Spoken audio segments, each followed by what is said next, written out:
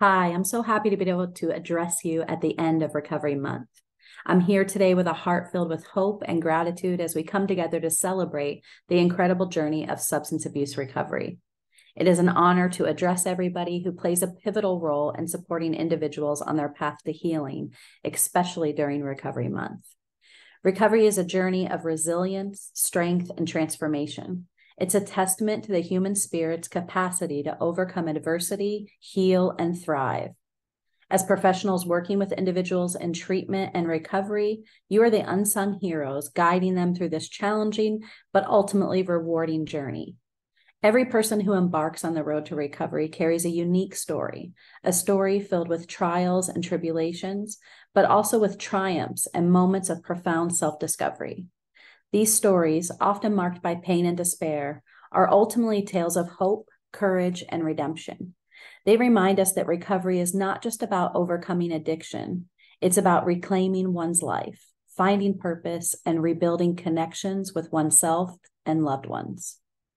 As we commemorate Recovery Month, let us celebrate the power of community, compassion, and evidence based interventions. Recovery is not a linear path, it's a series of steps forward and sometimes comes with occasional setbacks. But these setbacks are not failures, they're opportunities for growth and learning. They teach us resilience, perseverance, and the importance of self compassion. They remind us that recovery is a lifelong journey and that every day without substance abuse is a triumph worth celebrating. Let us also remember that recovery is not just about abstinence, it's about a holistic wellness physical, emotional, and spiritual. It's about rebuilding self esteem, mending relationships, and rediscovering the joy in the small moments of life. It's about embracing life filled with purpose, passion, and meaning. In closing, let's recommit ourselves to the cause of recovery. Together, we continue to break down stigma.